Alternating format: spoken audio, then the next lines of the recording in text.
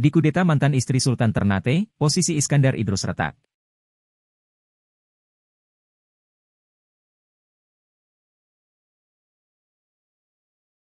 Iskandar Idrus resmi undur diri dari Ketua DPW PAN Provinsi Maluku Utara setelah tahu ia tak lolos maju sebagai bakal calon anggota DPR RI. Kepada tribunternate.com, Iskandar Idrus mengaku kecewa dengan keputusan DPP PAN. Karena sebelumnya ia sudah melakukan konsolidasi untuk maju sebagai calon anggota DPR RI.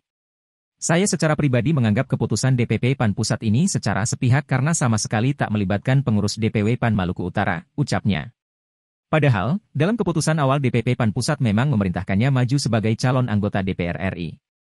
Tetapi, tiba-tiba DPP PAN Pusat mengambil keputusan tak meloloskannya. Lebih lanjut Iskandar menjelaskan, namanya tidak masuk berdasarkan keputusan DPP PAN. Dari DPP, menurut Iskandar namanya digantikan dengan Nita Budi Susanti untuk maju sebagai calon anggota DPR RI.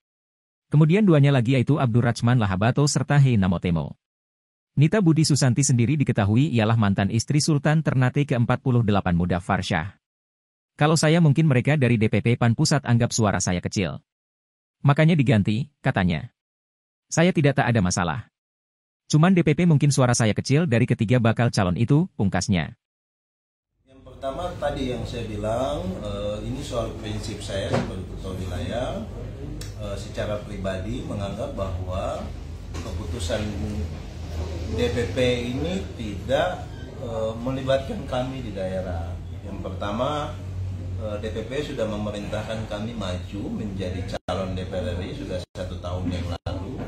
Kemudian e, empat hari yang lalu secara sepihak kami disampaikan bahwa saya tidak masuk sebagai calon anggota DPR RI dari PAN itu alasan dari DPP Iya alasan dari DPP karena menurut DPP mungkin menganggap dari sisi peluang saya peluangnya kecil mungkin untuk bisa mendulang suara yang signifikan oleh DPP sementara saya kira itu bukan menjadi belum bisa dijadikan sebagai standar karena saya sudah melakukan konsolidasi kurang lebih satu tahun.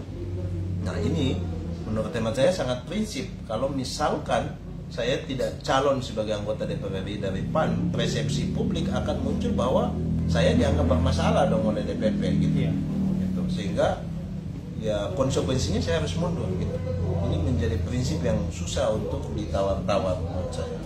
Kemudian yang kedua, bagaimana DPP juga memasukkan nama Nita Budi Susanti, Ibu Nita Budi Susanti sebagai calon DPR RI yang dalam analisis kami eh, ini bisa menjadi apa nama eh, bisa melahirkan instabilitas di tengah eh, ada situasi yang, situasi yang ada di kota Ternate kaitannya dengan uh, konflik di Kesultanan Ternate yang menurut hemat kami mestinya sudah mulai sudah mulai aman, kondusif, jangan sampai muncul lagi gejala-gejala itu kembali. Sehingga kita tidak mau menarik urusan partai ini ke dalam ruang dinamika kesultanan itu karena ini menjadi dua urusan yang berbeda gitu sehingga berapa nama itu dari DPP ada tiga nama kan kuotanya. Dua Pak Hein kemudian ada Paman Lahabato kemudian Ibu Nita Budi Susanti yang kemudian diakomodir sebagai calon DPR RI dari Dapil Maluku Utara. Terima kasih sudah nonton. Jangan lupa like subscribe dan share ya